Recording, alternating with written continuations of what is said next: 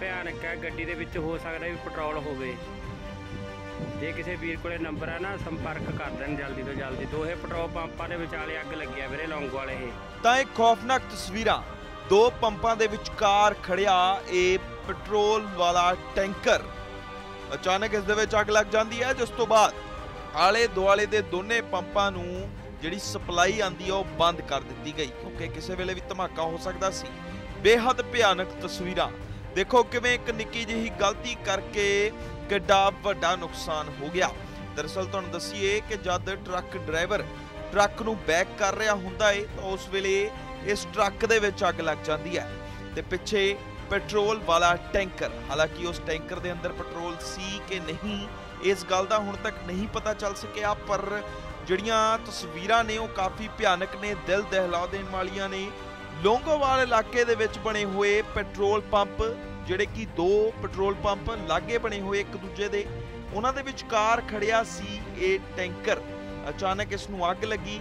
ਅੱਗ ਲੱਗਣ ਤੋਂ ਬਾਅਦ ਮੌਕੇ ਤੇ ਹੜਕੰਪ ਮਚ ਗਿਆ, ਕਿਉਂਕਿ ਪੈਟਰੋਲ, ਜੇਕਰ ਬਲਾਸਟ ਹੁੰਦਾ, ਤਾਂ ਦੋ ਪੈਟਰੋਲ ਪੰਪ ਨਾਲ ਸੀ।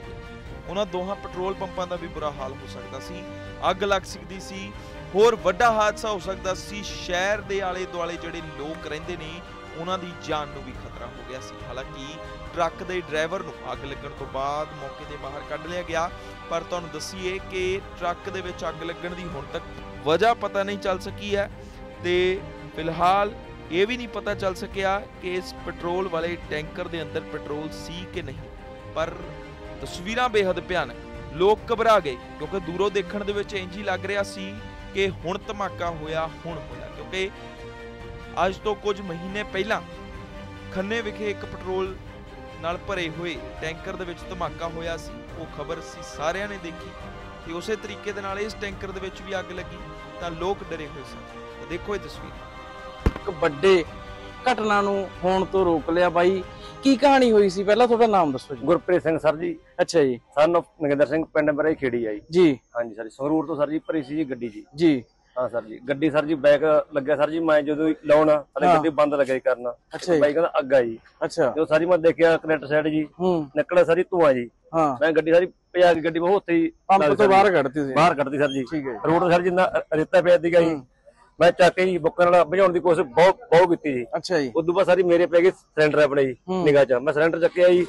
ਸਿਲੰਡਰ ਮੈਂ ਚਲਾਇਆ ਸਰ ਜੀ। ਇਹਨਾਂ ਦਾ ਬੰਦਾ ਸਿਲੰਡਰ ਛੱਟ ਗਿਆ ਜੀ ਭੱਜ ਗਿਆ ਮੇਰੇ ਮਗਰ ਕੋਈ ਨਹੀਂ ਸਰ ਜੀ ਕੱਢਿਆ। ਸਾਰੇ ਗਏ ਭੱਜ? ਕੱਢਿਆ ਸਰ ਜੀ ਮੈਂ। ਫਿਰ ਮਾਤਾ ਜੀ ਆਪਣੇ ਉੱਥੇ ਹੀ ਆਪਣੇ ਸਬਜ਼ੀ ਆਈ ਮਾਤਾ ਜੀ ਉਹਨੇ ਕਿਹਾ ਬੇਟਾ ਜੇ ਨਹੀਂ ਤੇਰੇ ਨਾਲ ਕੋਈ ਹੈਗਾ ਤੂੰ ਇੱਧਰ ਆ ਜਾ ਕਹਿੰਦੀ। ਕੋਈ ਚੱਕਰ ਨਹੀਂ ਜੇ ਪਿੰਡ ਨੂੰ ਅੱਗ ਲੱਗਦੀ ਹੈ ਲੱਗੀ ਜਾਣ ਤੋਂ ਕਹਿੰਦੀ। ਅੱਛਾ। ਵੀ ਤੁਸੀਂ ਇੱਧਰ ਆ ਜਾਓ ਕਹਿੰਦੀ। ਠੀਕ ਹੈ ਜੀ। ਤੁਹਾਡੀ ਨਾਲ ਵੀ ਕੋਈ ਹੈਗਾ ਸੀ ਕਨੈਕਟਰ ਸਾਰੀ ਹੈਲਪਰ ਮੇਰਾ ਸਹੀ ਹੈਗਾ ਜੀ ਉਹ ਗੱਡੀ ਪਰ ਆ ਕੇ ਸਰ ਜੀ ਉਤਰ ਗਿਆ ਸੀਗਾ ਜੀ। ਮੈਂ ਕੋਈ ਨਾ ਜੀ ਲੋਕਲ ਲੱਗੀ ਗੱਡੀ ਮੈਂ ਕਰਕੇ ਆਇਆ ਨਾ ਖਾਲੀ। ਓਕੇ ਜੀ। ਹਾਂਜੀ ਹਾਂ। ਮੰਨ ਲਓ ਵੀ ਥੋ- ਤੁਸੀਂ ਕੱਲਿਆਂ ਨੇ ਇਸ ਅੱਗ ਨਾਲ ਜੂਝੇ ਹੋਗੇ। ਹਾਂ ਸਰ ਜੀ ਹਾਂਜੀ ਠੀਕ ਹੈ ਜੀ। ਤੇ ਤੇਲ ਕਿੰਨਾ ਕਹਦੇ ਵਿੱਚ ਜੀ? ਸਰ ਜੀ 5000 ਲੀਟਰ ਚ ਪੈਟਰੋਲ ਹੈਗਾ ਹਾਂਜੀ। 15000 ਲੀਟਰ ਜੀ ਡੀਜ਼ਲ ਹੈ ਜੀ। ਅੱਛਾ ਦੋਨੇ ਚੀਜ਼ਾਂ ਹੈਗੀਆਂ ਨੇ ਇਹਦੇ ਹਾਂ, ਵਿੱਚ। ਠੀਕ ਹੈ ਜੀ। ਹਾਂਜੀ। ਵੀਰੇ ਆਪਣਾ ਨਾਮ ਕੀ ਹੈ ਜੀ? ਜੰਟਾ ਸਿੰਘ ਜੀ। ਕੀ ਕਹਾਣੀ ਤੁਸੀਂ ਇੱਥੇ ਮੌਜੂਦ ਸੀ ਜਦੋਂ ਸਾਰੀ ਘਟਨਾ ਹੋਈ ਹੈਗੀ? ਹਾਂਜੀ। ਕਿਵੇਂ ਕੀ ਗੱਲਬਾਤ ਹੋਈ ਹੈ ਜੀ? ਇਹ ਗੱਡੀ ਪਿੱਛੇ ਲੱਗ ਰਹੀ ਸੀ। ਹਾਂ।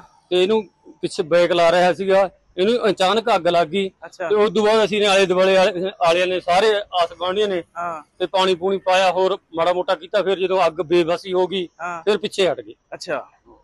ਜੇ ਮੰਨ ਲਓ ਫਾਇਰ ਬ੍ਰਿਗੇਡ ਕਿੰਨੇ ਕੁ ਟਾਈਮ ਚ ਆ ਗਈ ਸੀ ਫਾਇਰ ਬ੍ਰਿਗੇਡ ਅੱਧੇ ਘੰਟੇ ਬਾਅਦ ਹੀ। ਅੱਧੇ ਘੰਟੇ ਬਾਅਦ ਆ ਗਈ ਸੀ ਜੇ ਨਾ ਆਉਂਦੀ ਤਾਂ ਨੁਕਸਾਨ ਬਹੁਤ ਹੁੰਦਾ। ਬਿਲਕੁਲ ਜੀ 3000 ਲੀਟਰ ਸੌਰੀ 20000 ਲੀਟਰ ਜਿਹੜਾ ਪੈਟਰੋਲ ਤੇ ਡੀਜ਼ਲ ਨਾਲ ਭਰੀ ਹੋਈ ਆ ਜੇ ਕਿਤੇ ਇਹਦੇ ਮੌਕੇ ਤੇ ਅੱਗ ਤੇ ਕਾਬੂ ਨਾ ਪਾਇਆ ਜਾਂਦਾ ਫੇਰ ਐ ਨਹੀਂ ਪਤਾ ਵੀ ਅੱਧੇ ਲੌਂਗੋਵਾਲ ਨੂੰ ਲੈ ਡੁੱਬਣਾ ਸੀ ਇਹਨੇ ਹਨਾ ਜੀ? ਹਾਂਜੀ ਹਾਂ। ਠੀਕ ਹੈ ਬਾਈ ਧੰਨਵਾਦ।